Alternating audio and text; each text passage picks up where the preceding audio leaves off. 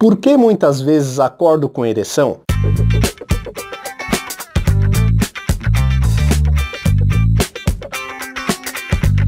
Olá, eu sou o Dr. Camisinha e esta é uma pergunta que eu recebo quase todos os dias.